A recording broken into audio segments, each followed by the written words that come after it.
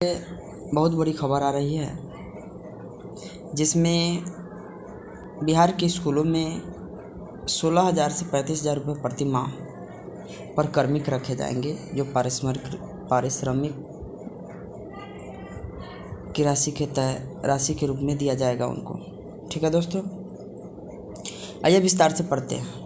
शिक्षा विभाग ने पारिश्रमिक की राशि तय कर जिलों को पत्र भेजकर जानकारी दी। शिक्षा विभाग के कार्यालय स्कूलों में सोलह हज़ार से पैंतीस हज़ार रुपये प्रति माह पर कर्मी रखे जाएँगे। ठीक है दोस्तों, देखिए दिया गया है कि शिक्षा विभाग ने जिलों, प्रखंडों और स्कूलों की ज़रूरत के हिसाब से कर्मियों की सेवा निश्चित पारिश्रमिक पर रखने का निर्देश दिया है। इसके लिए विभाग द्वारा निश्चित राशि भी तय कर दी गई है। किस तरह के कार्य करने वालों को कितना पारिश्रमिक दिया जाएगा?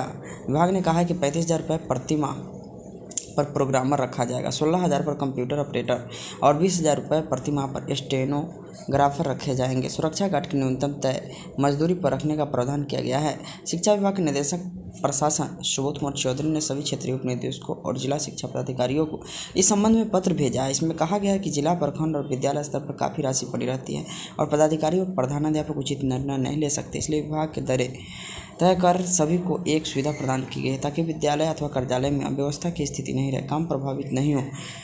आवश्यक काम समय पर पूरा करने के लिए कर्मी रख सकते हैं। संस्थान के आंतरिक मत से टेंडर कर प्रशिक्षण कक्षों में ऐसी लगेगी, सफ़ाई कर्मी रखे जाएँगे। ठीक है दोस्तों? उसके बाद है, विभाग में मॉनिटरिंग सेल बन रहा है और ये भी दिया गया है कि इक्कीस दिन के निरीक्षण में बिना सूचना जो है सात हज़ार शिक्षक पाए गए, जिनका वेतन काट लिया गया है। ठीक है दोस्तों? और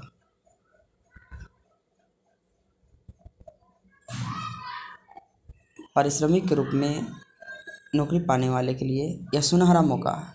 थैंक्स दोस्तों।